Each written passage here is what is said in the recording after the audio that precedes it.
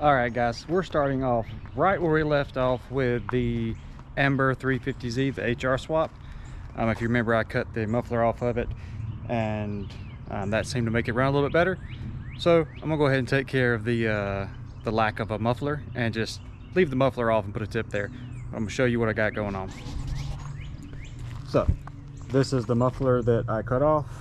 Steadily still dumping junk out of it. You can shake it and hear stuff around in there so I'm assuming that's the issue or that was the issue with the car. So we got to get something back here just so we're not like dumping raw exhaust in the back of the car. Now this is the exhaust tip I made for the uh, rotary FDRX7 when I had it. Um, so I was thinking about putting this like that so it matched my my white Z. This is just a bunch of scrap exhaust stuff but for some reason I have like this big massive truck tip. So I was always thinking about doing that you know something like that. Be all JDM hot boy which this is more my style but I'd have to like trim the bumper which I'm probably about to do anyway. Um, uh, I don't know um, I don't know. I probably will end up going with the big with the big custom tip whatever just because one it's actually let me get under here.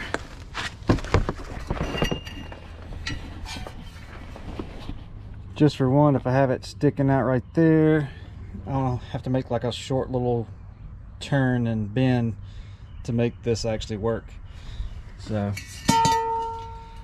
as you can see this car kind of she's kind of crusty. It's got a little bit of rust on her. But I don't think the rest of the exhaust is going to be an issue. Um, you can kind of see how far how far forward I pulled it with the way that that uh, um, exhaust hanger is like you know leaning forward. It should be back this way but it's okay. Um, you can see the factory Y up there too. So if I hang onto the car I'll get like a three inch Y and this is a three inch exhaust but that little flange that I cut off the only reason I cut it off is because it, it I couldn't unbolt it. Um, so I probably like cut that flange off weld it back here so I can like change the tip if I ever want to so. But I'm going to go ahead and um, I guess cut this rear bumper just how I did the white one not that I I mean I guess I could just do the tuck on this. Uh, decisions decisions. Um, yeah I'm unsure yet. I may just do the tuck and fold that in and I may cut it. But anyway I'm gonna go ahead and get this kind of like mocked up and show you guys what I come up with. So got this little piece right here so thinking if I can cut that flange off there's junk falling out of this one. It might bolt up and I'll have a, a tip that I can remove and stuff if I ever want to change it. So all right guys it's always something just like last video. Um, i got the exhaust done. Not a big fan of it for myself but it's just using scrap i had around the house so uh, that's what we got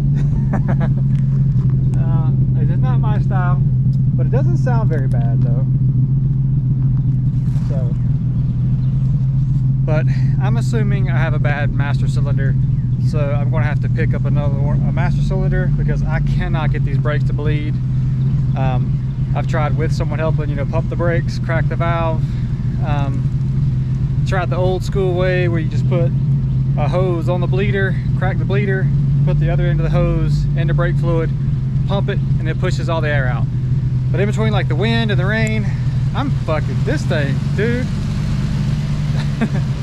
telling you what man I swear it's like the more I'm motivated I get to do something, the, the more the world is like trying to like stop me from doing it.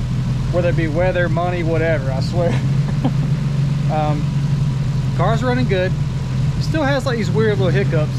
I think I got some kind of other issue, so I don't know, but the engine's running really good. So the engine's good. Still got to figure out the fuel system and the brakes. Uh, I don't know why my, uh, the, uh, sending unit's not working. But yeah, I'm gonna rev her a few times, let you guys hear the exhaust. Don't sound too bad, I like it. But I'm done for the day. Again, the weather's irritating the ever loving out of me.